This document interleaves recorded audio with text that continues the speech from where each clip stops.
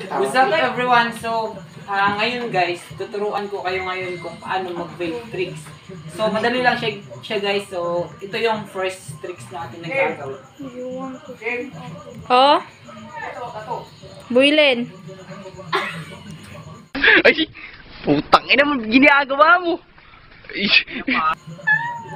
So, ayan na guys, yung first.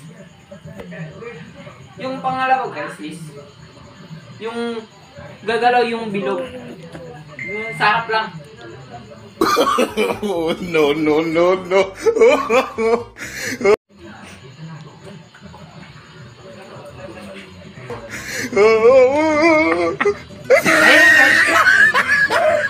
Ayan na guys. Ah, 'di ba napakadali lang mag-vape tricks. So, sa lahat ng gusto magpaturo sa akin diyan, ah, paki-PM na lang po ako. At saka may talent fit, may talent fit po tayo. So, ah, pag yung yung first tricks natin is ah, nagkakahalaga ng 2,000 pesos. So, ayan yung guys, yung yan yung guys yung ano, ah, talent fee natin. So, salamat sa mga gustong magpa ano, ah, mga apprentice ko. Ah, dito lang ako sa suporta sa inyo. So, God bless. Ganang gabi.